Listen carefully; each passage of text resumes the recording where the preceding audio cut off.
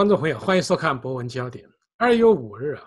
梅赛德斯奔驰官方在 Instagram 上发表了一个帖子，引用了达赖喇嘛的一句名言：“从各个角度看问题，视野会更开阔。”从而引发了中国政府和部分民众的强烈抗议。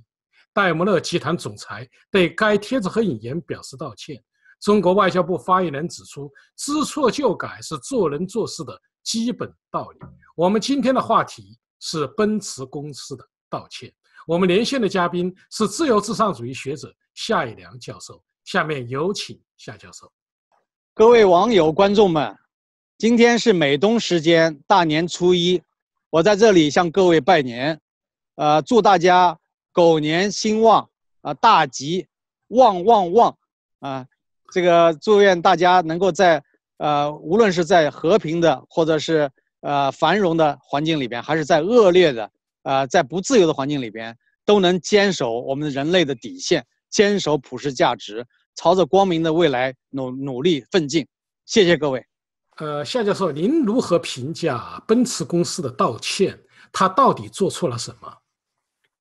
首先，我觉得这句话就是达赖喇嘛尊者说的这句话呢，呃，并没有任何的错误。如果不数他的名字。数任何一个人的名字，我相信这个文字都不会有问题。呃，中共做的这个事情呢，是一个鸡蛋里边挑骨头的一个无聊的把戏。呃，其实呢，它的目的就是要对西方，啊，对西方的企业界，对西方的政客啊，实施一种威吓的政策，就是说我有底线啊，你只要触犯我的底线，我就可以呃中断跟你的经济贸易往来，我就要使出杀手锏，让你看看我的颜色。其实现在呢，我们知道，当今的大国都要是，呃，文明的啊，呃，负责任的大国，也就是说，要进入到现代国家行列。可是中国呢，到今天都没有进入到现代国家行列，更谈不上政治文明。所以呢，往往小题大做，把这个很多方面都设为呃跟西方人交谈的禁区，比如三 T，就是台湾问题、西藏问题，还有天安门。这三 T 是绝对不能提的。这多年来，已经在西方的研究机构、大学里边，啊，如果跟中国打交道多了，都知道中国政府会有这个强烈的要求，而且中国的学者也一般都是要遵守这样一个所谓的底线。那么这次呢，我们看到，呃，他这样做其实不仅仅是针对奔驰公司，应该说他针对一系列国际著名的大品牌就实施威吓和压力，啊，那其实这个效果呢？我相信它不能够根本改变呃人们的普世价值，因为在经济学圈里边，呃，我们都知道同行有一个习惯，就是列出各个经济体的经济指标进行对比。那么这十几二十年甚至三十年来，大家都是一直这么做的，就是台湾是一个独立的经济体，香港是一个独立的经济体，所以很多这个时候是把他们这样并列在一起的。那我在北大任教的时候，曾经在教室里边。讲到这个各个经济体之间的比较的时候，就有学生站起来向我抗议，说：“夏老师，你这是，啊，主张台独，你这个是好像想把台湾从中国分裂出去，因为你把台湾列为一个独立的经济体，啊，台湾是中华人民共和国的一个部分，所以你绝对这个你犯了严重的政治错误，你你要道歉。”这是北大的学生在课堂里面向我这样讲的。那么我的回复也是非常的平和的，我说：“如果你要是到。”以后有机会到美国去读研究生、读博士，如果你参加国际学术会议，啊，从诺贝尔奖得主到一般的这个经济学者都是这样做的，所以我只是告诉你这样一个国际上的惯例，啊，所以他们呢就是说有一些学生就是呃特别突出政治嘛，事后还向这个学校告状，说我的言论、教学言论里边有反党、反政府以及呃让中国分裂的这个言论。所以呢，其实呃，北大当当局以及这个中共官方很早就已经给我记了很多的账，只不过这个账呢要积累到一起来算。所以呢，我说的这个事情呢，这个当时学生向我提出这种呃不同意见的时候是二零一一年吧，二零一零年、二零一一年的样子。但是后来大家知道，经过了几年，到二零一三年十月才把我解职。所以从这个事例你可以看出。呃，中共的洗脑教育让中国大陆的民众认为台湾是呃中国的一个部分，所以呢，这个很搞笑啊。那如果你这是一个部分，那也可以啊。那我们是不是拿着中华人民共和国护照就可以到台湾去自由的去访问呢？啊，那如果是台湾是中国的一部分，我们是不是可以在台湾定居和找工作呢？对吧？求学呃不受阻碍呢？能不能有这些啊？他又没有，对吧？所以他很搞笑的，就是很多东西，呃，一方面事实的存在他不承认，另一方面呢，他又呃在政治上老是找这种话语的主导权，啊，那么这样现在经常用经济的这个尚方宝剑来这个恐吓威胁西方的一些国家和企业，所以这样做呢是非常荒唐的。呃，夏教授，你看奔驰公司的道歉，您刚才也说了，实际上他本身自己没有犯什么错，只不过引用了一句名言。其次呢，我们也发现这种事情并不是发生在奔驰公司身上，而且以前的达美、万豪集团，还有呃澳航等等都出现这些问题。那么我的问题是，为什么这些国际知名的企业会违心的做出道歉呢？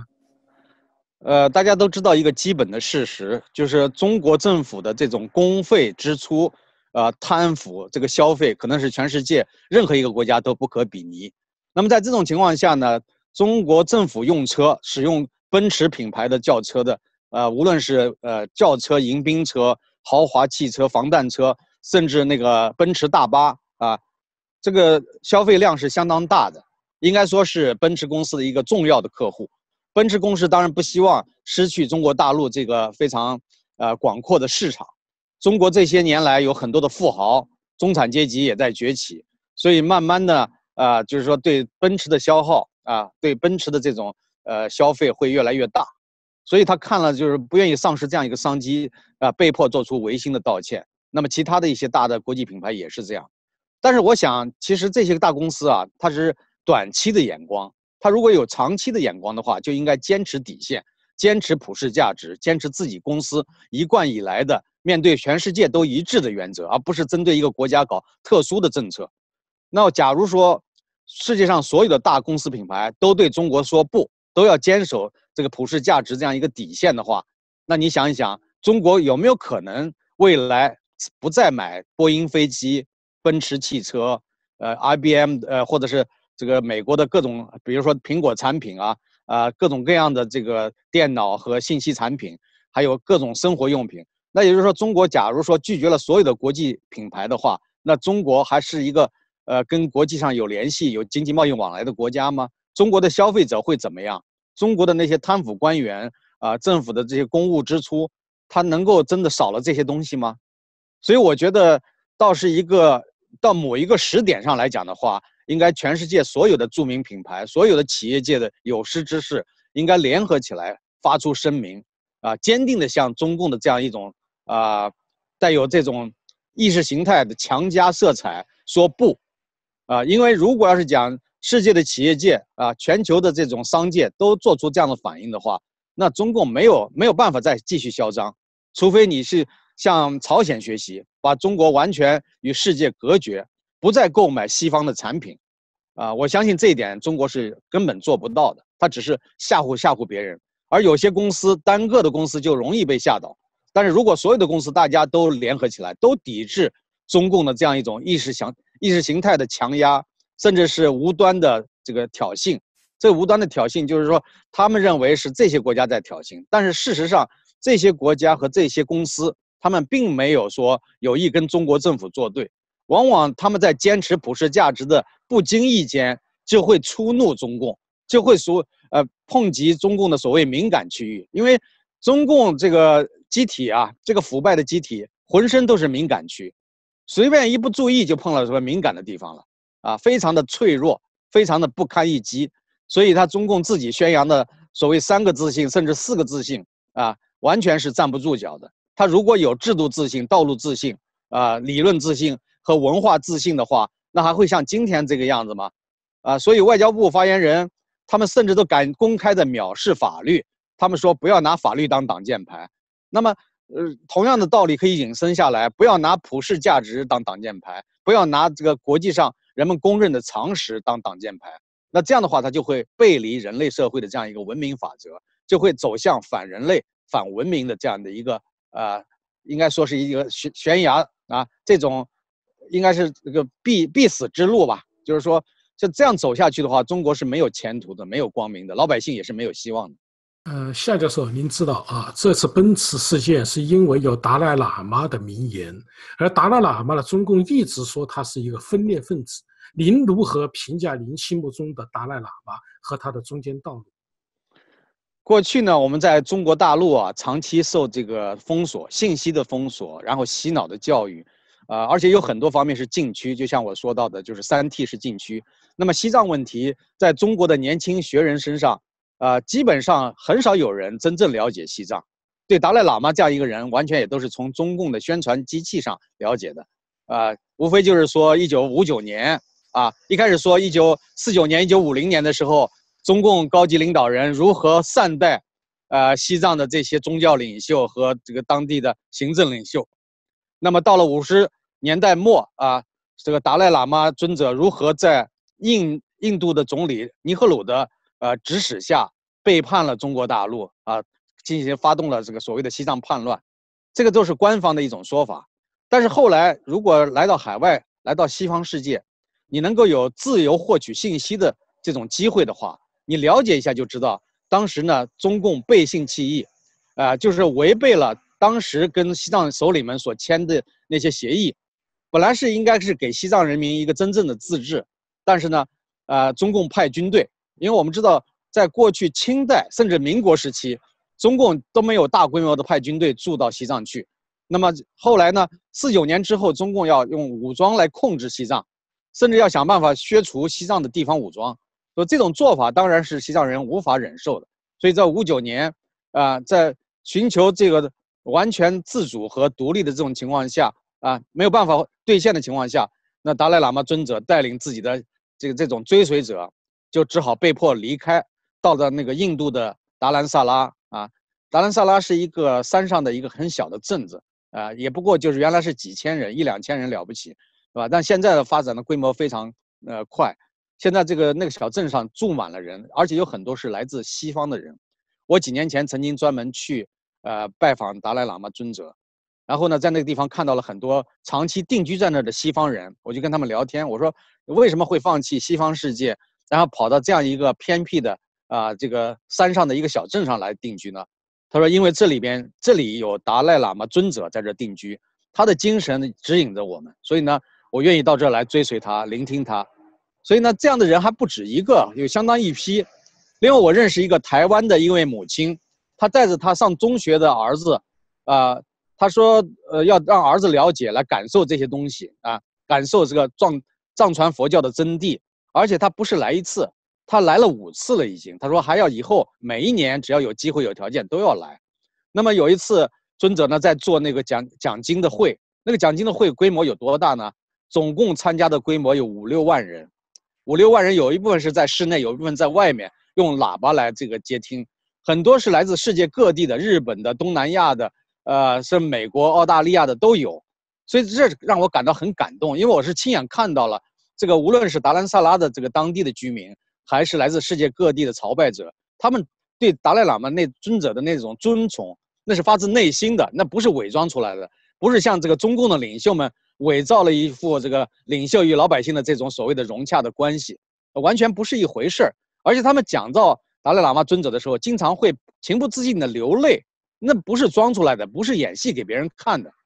我记得我在这个国内的时候，在北京。有一个著名的大的财经电视台采访我，呃，我不想说这个名字，怕连累人啊。就是其中有一个接送我去参加节目的司机，啊，开着一个豪华的迎宾车，啊，我在他上座位的时候，发现他这个车那个，呃，放杯子的那个地方呢，放了一本书，原来是达赖喇嘛的一个讲话录，是跟这个呃藏传佛教相关的。我感到非常的惊讶，因为在中国大陆像这样的事儿是被禁止的。啊，这位这个年轻的小伙子，他看我感兴趣，然后就跟我聊起来。我还发现他真的对达赖喇嘛真的是有相当的了解，不是像一般的受到洗脑教育的人一样，就把达赖喇嘛尊者当做一个恶魔来看待。那么我就跟他交谈了，我说我还见过这个尊者本人，他特别兴奋，他就过来跟我握手。他说：“你跟这个尊者握过手，我就跟你握握手。”啊，但是真是发自内心的，就所以让我也感到呃非常感动的。我说：“难道就是中国大陆？”啊，我们过去以为大家都不敢触及这样一个禁区，其实也有很多的年轻人在悄悄的在学习它，在了解它。那我说一下，我跟尊者见面的时候，一开始安排的时间很短，说这个安排二十分钟到半小时，因为我一个人嘛，单独后面还有好几波在排队的，有一个整个的代表团有十几人，还有一个小小的团队也有四五个人，只有我一个是单独会见。单独会见呢，说二十分钟半小时已经算是呃给的相当多了，但是尊者跟我谈的时候非常的兴奋，他一直一谈一口气谈了一个多小时。啊，我们谈的主要是用英语，但是他兴奋起来的时候，他也会说汉语。他说了一些汉语，说的那个也就是非常的准确啊，所以我这个在理解的沟通上没有任何问题。呃，那么我当时是有备而来，我是在笔记本上，在我的，因为手机是不允许带进去的，所以我在一张纸上记下了我的几个问题。啊，那几个问题呢，我当时就问了，我说这个过去人们一直在流传，说尊者您啊要主张大藏区。就是把现在中国版图中大约三分之一的地方啊，要划到大藏区里边，啊，你这样的是就是说有一个强烈的这个领土或者霸主的这个意愿啊欲望，就是要控制中国这么大的领土，然后让这些人都成为你的臣民，啊，另外呢，人们说，呃，你呢是希望要让这个西藏独立出来啊，而且甚至为了独立呢，要这个选可以选择一些暴力的手段。包括那个藏青会啊，他们在有些地方据说搞这个军事行动，甚至暗杀，啊，据说是得到你的支持，啊，这是到底是不是真的？所以我问了这样一些非常尖锐的问题。我相信有些人见了尊者是不敢直接问这样的敏感、直接尖锐的问题的。但是尊者呢，非常的平和，啊，他在跟我谈的时候呢，呃，他就感觉到就好像是很认真的在跟一个。就好像是在跟中共领袖在对谈似的。他为什么这样讲？他非常严肃认真的，是用一种呃平和的商讨的语气在讨论。他说：“我从来没有主张啊，说要用武力的手段。他说我一直是希望是和平的手段。啊，至于有没有西藏人主张这个暴力的不和平的手段，这个可能有。但是他说我只要知道，我都会去阻止他们。啊，那么我相信了解我的人都知道这一点。”另外，他讲我主张的这个中间道路，就是希望减少可能的冲突，减少流血，啊，减少更多人受到损害。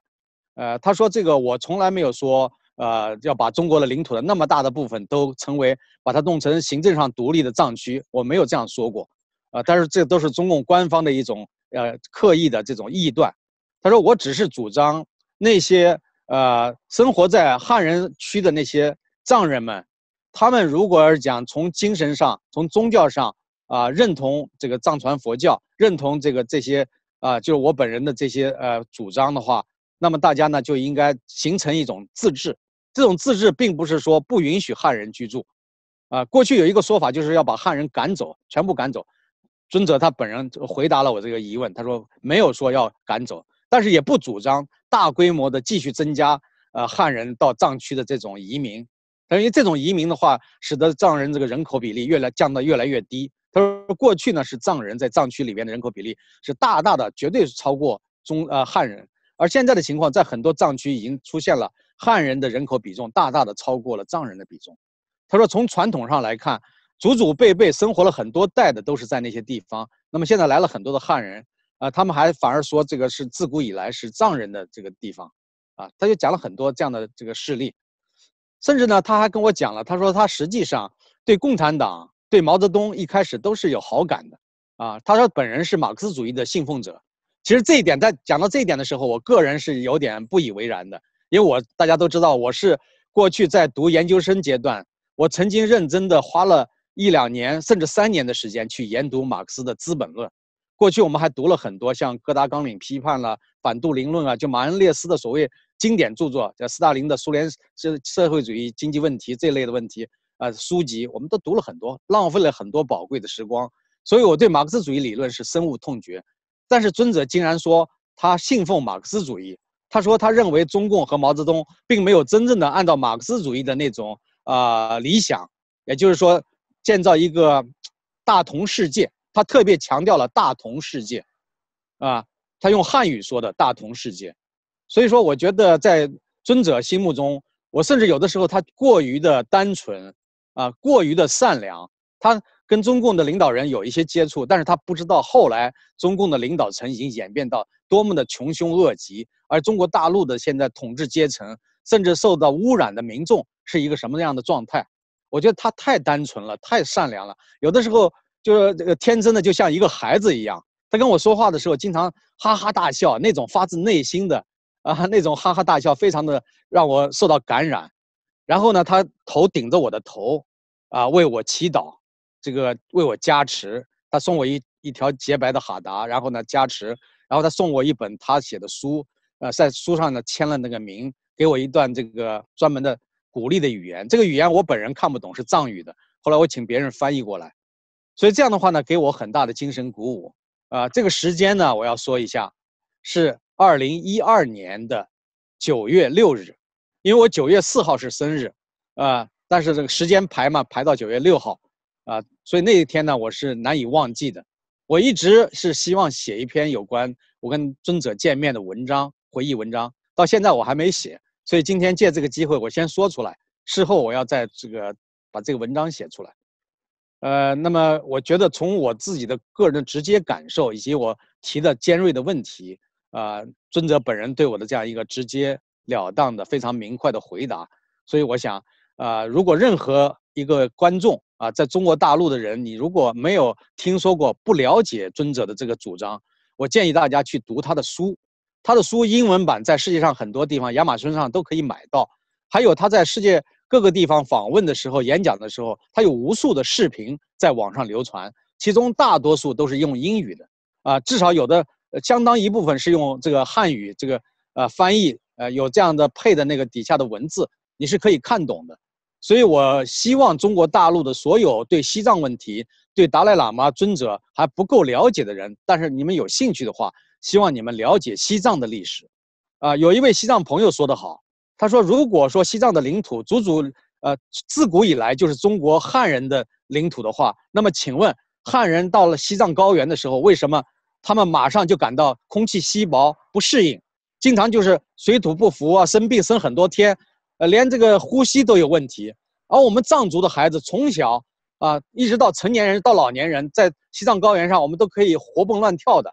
那就说明我们的遗传基因里边，我们适应了这片土地，我们适应了这样一个高原。”而汉人呢，在身体上、生理上、遗传因子上啊，基因上他就不能够完全适应这个这个土地。所以呢，我们再回顾一下当年中国的历史课本里边啊，唐代皇帝就派出这个公主啊去和藩，和什么藩呢？就是和松赞干布，啊，和松赞干布那个和亲，那就说明了它不是一个国家呀。至少在唐朝的时候，皇帝是希望通过和藩来加强这个与其他国家之间的关系。这怎么是自古以来就属于中国呢？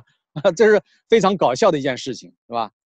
所以呢，我想这个关于西藏问题不是三言两语能说清楚的。我还要推荐我的一个朋友，叫李江林写的啊《拉萨一九五九》这本书非常的有名啊，他写了好几本书了啊。另外除了他以外，还有其他的一些呃，有的是藏人，有的是关心西藏的汉人写的书啊。所以大家有兴趣到网上去搜索，呃，有很多的资源可以利用。现在是二月七号啊，我们看到，呃，西藏公安厅，呃，在扫黑打恶啊，这出恶和运动中啊，他将与啊达赖喇嘛有关联的或者给予啊资金资助的都列为黑恶势力。对这个消息您怎么评价？其实他这是又是一种更加恶劣的、更加低俗的这种恐吓手段，啊，因为大家知道这个。自从达赖喇嘛尊者带领他的追随者一九五九年逃到印度，后来定居达兰萨拉之后，啊，世界上那么多的国家，出于人类的同情心、人道主义的救援，出于对呃人权、平等、正义、宗教自由方面的尊重，啊，大家都很多国家的政府都提出了援助，包括欧洲的一些政府，印度政府就不用说了，还有英国政府。世界上很多国家都给予了长期的各方面的援助，还有一些呢是呃一些大企业、一些慈善机构，呃一些个人都长期的在援助。所以西藏达兰萨拉的收入，一个是来自旅游观光，另一个就是呃宗教方面的收入，宗教活动的收入啊。另外还有就是各个地方的捐捐赠，包括个人的、机构的，甚至政府的。呃，那么如果要讲有些基金会啊，包括西方的一些大的基金会也是资助西藏这个问题研究和包括西藏的人权各方面的。如果要是讲呃中共把这些都称为黑恶势力的话，你想想这个结果是什么？世界上那么多的公益基金啊，那些民主的、自由的、人权的、法治的基金，还有那些机构、个人，甚至一些国家的政府，都被中共污抹黑为所谓的黑恶势力，这个是非常可怕的吧？他他这是等于是中国政府摆明了要跟那些啊世界上的正义的力量啊对正义进行坚定支持的力量作对，成为他们的敌人。所以这一点呢，我觉得中共的外交部发言人或者中共的这个决策者们，他应该去反思、去了解啊，支持达赖喇嘛尊者和西藏人权、独立啊、自由这方面事业的人，到底是极个别的人，还是在世界上有着广泛的这个。呃，就应该说有相当大的人口和相当广泛的，无论是各行各业，都是有这样的支持的。呃，下面是有几个事实热点呢，想请您点评一下。二月十四日，在佛罗里达州的帕克兰市啊，一个高中发生了枪击案，有十七名人啊被枪击致死，也有很多人受伤。您怎么评价？呃，关于校园枪击案呢，在美国已经发发生不是一次了。呃，关于这个问题呢，多次的被这个民主党啊，还有一些呃人士，就是他们一讲的，就是说应该严格的就是禁枪，啊，那么这一点呢，就和美国宪法的第二修正案，就是持枪权发生了这个重大的冲突。关于这个问题，我曾经专门做过辩论的节目，啊，那么我举了很多的例子，就是说禁枪是可不可能的，不能剥夺人那个美国宪法赋予美国公民的这样一项神圣的权利，但是呢。对枪支进行更加严格的管理，或者更加有效、科学的管理，倒是必要的。所以呢，我们不能简单的、笼统的啊，简单的思路是去禁枪，而想办法怎么样来呃，对更多的犯罪的可能进行呃事先的预防。啊，这个事先的预防包括呃对个人信息系统的这样的一个呃数据数据呃收集以及快速反应。另外呢，在校园里边应该有一些最基本的防范系统。我觉得按照人类现在的科技能力，我们完全有有条件做到，在一些校园里边，啊，跟这个呃遥控，跟这些这个摄像头相配套，应该有一些自动反应机制。当有人举枪对准教室、对准学生人群的时候，应该用激光枪或者用其他的一些先进的设备啊，就是能够在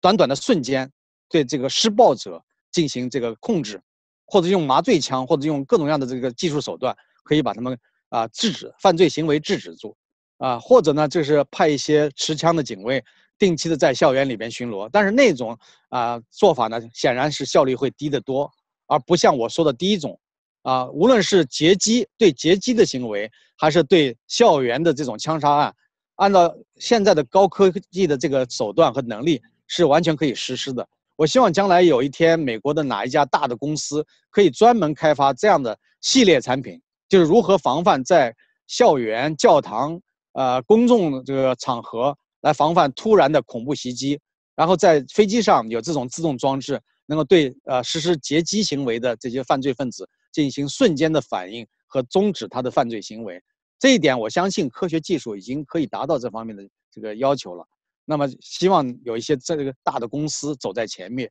啊，那么我看，呃，有一个公司我对它寄予很高的期望，就是这个，呃，Musk 啊，Elon Musk 这个公司，他现在做了很多 创新的事情，将来有如果有可能的话，我愿意向他提出这样一个建议，希望他们成立一个专门的公司来开发这样的产品。夏教授，您知道原重庆市委书记申正才已经被啊移送司法机关啊，即将起诉了。呃，最高检也指定天津第一检察院提起公诉。对于孙正才这个案件，您的看法是什么？呃，孙正才过去呢是共青团呃作为未来接班人培养的一个重要的高官啊，据说有人呃看好他有可能成为中中国啊未来的总理，但是后来呢突然发生了重大的变化啊，说起来说他是个人的贪腐严重啊，包括个人的这个生活作风。据说他有私生子，而且还不止一个，等等这种说法。但是我想最重要的问题不在于他个人的腐化，而在于，呃，他有政治上的这种诉求，或者是按照官方的说法，就是有政治野心、非组织政治活动啊，大概是这个这个表述吧。就这类的表述，就说明没经过中央批准，自己私下里搞一些串联，搞一些组织活动。其实这个就很奇怪了。如果你不搞活动的话，你如果跟其他官员不来往，那有人会认为你不团结呃自己的同僚啊，不团结同事啊，在干部中你不团结。但如果你私下走动，那就是说非组织的政政治行为，就有可能被看作是有政治野心的。呃，所以这些东西呢，就是说欲加之辞啊，欲欲加之罪，何患无辞吧？就是说，呃，应该说中共的这些潜规则，有的时候你搞不清楚他究竟为什么会失去。呃，这个他的政治权利、政治地位，甚至成为就囚犯，啊，那么我们其实借此案例可以告诫所有的中共高官，就是不要看你今天非常的得意，也许你明天就可能成为阶下囚，因为中共是不讲法治的，啊，甚至他连人情也不讲，啊，他只讲权力，只讲这个内部的这种勾结，或者讲内部的这种站队，啊，你如果不能成为最高权力者的这种啊心腹，那么有可能你就成为下一个牺牲品。下的时候，呃，中纪委啊对卢伟就原网信办主任呢决定给予双开，并且在他的通报中对卢伟啊用词啊可能是中共建政以来最厉害的一个，有很多罗列的用词，非常厉害。我们就有一个问题，就是既然卢伟十恶不赦，那为什么中共会培养出这么一个干部呢？对，关于卢伟这个人呢，我很多年以前他还没呃下台，甚至还没达到最高权力位置的时候，我就对他极其的厌恶啊，因为我研究过他的简历，他的简历呢，就是说像这样的一个人，在一个正常的国家都不可能爬到这么高的位置，拥有这么大的权力。如果你看一下他的这个简历，就知道他不过过去呢是一个没有上过什么学的一个农村出来的混混，啊，他后来居然能够爬了那么高的位置，而且是在。不太长的时间里面爬到那么高的位置，而且还混了很多的文凭，啊，那么这个他还掌管中国的意识形态，所以说你想想呢，中国的思想控制是由那些没有文化、没有思想的人啊，甚至是反人类的、反文明的人来控制人们的思想，这是多么可怕的一件事情。而且卢伟被称为这个网络沙皇，啊，他还做了很多令人恶心的事情，包括对这个西方的媒体进行控制和威吓、施加压力。有一个典型的这个案例，就是他到呃硅谷，美国硅谷去考察，呃，在 Facebook、脸书的办公室里边，跟他的掌门人扎克伯格谈笑风生，而且扎克伯格呢，为了讨好他，为了进入中国市场，在自己的办公桌上还放了一本习近平文选，啊，这样的话呢，就是给人感觉就是西方的企业家啊，居然要向中国低头，要向这个中国的独裁者，要向中国的盖世太保，中国的。呃，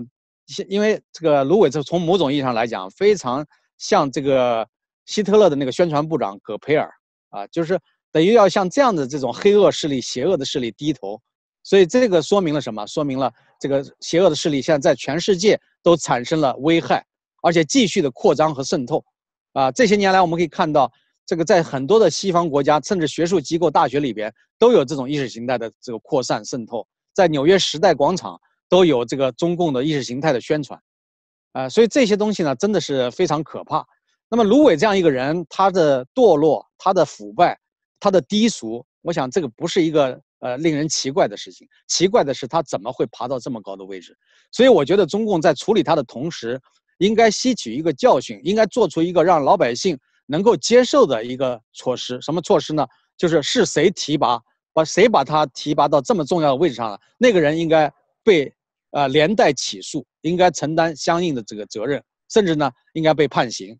那么我猜测一下，在他的上升之中起到相当大的作用的一个人，那就是刘云山啊。至于还有没有比刘云山更加位高权重的人，那肯定是有的。而且我听到一些内幕消息说，卢伟还得到了习近平本人的非常的器重啊，不但这个负责意识形态宣传方面的工作，网络方面的网络控制的工作，甚至还涉及到。习近平对其他领域的一些事情，他也参与，比如说对经济事务、对外的这种投资、“一带一路”，啊，甚至习近平个人的安全问题，有一段时间啊，卢伟都介入了，就说明他有可能成为啊习近平本人最器重的心腹之一。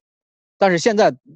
呃，出现了这样的一个结局，说明呢，呃，他呢道行还不够高，他的低俗的本质很容易呃暴露，尤其是他的那么多的这个恶行被人们一次一次的揭露，时间长了，连习近平本人也感到羞耻，也没办法为他掩盖，呃只好呢忍痛割爱。呃，其实呢，习近平用的人基本上都是那种低能的啊，他只要效忠。既然低能的人，他当然可以在领袖面前效忠，但是他对其他人呢，都是穷凶恶极的。所谓一人之下，万人之上，实际上不是一人之下，万人之上，而是一人之下，一人之上，多少亿人之上，对吧？呃，所以呢，他这个这种穷凶恶极，然后对待别人的时候呢，他就到了没有底线的程度。所以芦苇的倒台，不光是我们这些自由主义知识分子，所谓的右派感到高兴，甚至连左派都。大大的叫好，就连那个司马南这样一个恶心的反人类、反文明的人啊，这次也写了文章，专门的叫好啊。所以说，这个应该说左右都痛恨的这样一个人啊。当然，这并不能说明司马南就是个好东西啊。司马南可能比芦苇从这个人性的角度，从这个恶的角度来讲啊，虽然他权力没那么大，但是从恶的本质和倾向来讲的话，司马南可能更加恶劣啊，有过之而无不及。因为芦苇的恶呢，我们至少从外面。不太容易看到，因为它是经过掩掩掩盖的，官方的掩盖的。而这个司马南的恶是赤裸裸的暴露在公众面前的。呃，夏队长向您请教的最后一个问题是：近来中国的股市啊出现了大的动荡，呃，二月九号就下跌了，沪指下跌了百分之四，一周以来沪指已经下跌了百分之九。您如何看待中国股市的变化？中国股市呢，需要解决一个根本性的问题，就是说市场。公开透明啊，尤其是公上市公司的财务信息要准确、公开、透明啊，不造假啊。其实中国的上市，这个中国股市从建立到现在，基本上都是不透明的，充满了暗箱操作、黑幕，黑幕重重。有很多公司根本不没有上市的这种价值，呃，完全都是造假、伪造数据，然后圈股民们的钱。所以中国股市很多年来以都被人们批评为大赌场，啊，或者讲这个黑箱操作的呃市场是非常无耻的。关于这方面呢，早在两千年的时候，吴敬琏先生就提出了这个，因为当时呃财经杂志揭露了基金黑幕，而吴敬琏先生也对股场股市呢成为赌场感到非常的痛心，他做过一些批评。啊！但是这么多年过去了，中国股市并没有真正的健康发展，因为中国的证券市场说穿了，就是一个权力游戏的市场，就是权贵们分赃的市场，